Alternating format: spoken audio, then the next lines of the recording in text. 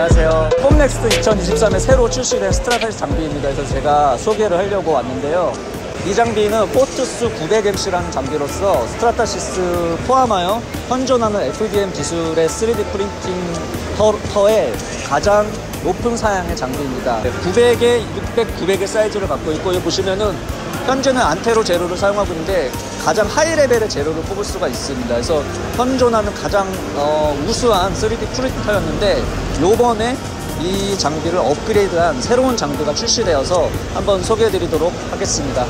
아 오늘 좀 오래 걸었더니 너무 지쳐가지고요 말이 제대로 안 나오는데 예, 이 장비가 이번에 새로 출시된 new 장비로서 어, F3300이라는 장비입니다. 그래서 방금 보여드렸던 F900 장비에서 속도가 두 배가 늘어났다는 것이 가장 큰 차이라고 보시면 될 것 같습니다. 속도가 빨라진 이유는 F900 같은 경우에는 XY축 이 노즐이 도르래 방식으로 이렇게 움직이는 데 반해서 이 장비 같은 경우는 어, 예를 들어서 자기 부상 열차처럼 이렇게 움직이는 방식이기 때문에 굉장히 속도가 빨라졌습니다. 그래서 지금은 지금 움직이지가 않고 있는데 움직이는 장면들을 보면 상당히 빨라집니다. 그래서 그런 방식 굉장히 특징이라고 볼 수 있고 스무스하게 움직이기 때문에 속도가 상당히 빨라졌고요. 그 다음에 노즐을 자동으로 교체 교체가 되기 때문에 노즐 교체 시간도 상당히 빨라졌습니다. 또 재료 두 개가 양쪽에 들어가는데 이 재료를 바꾸기 위해서 노즐을 바꿀 필요가 없기 때문에 노즐을 바꾸는데 자동으로 15초 안에 바꿔주기 때문에 생산성이 굉장히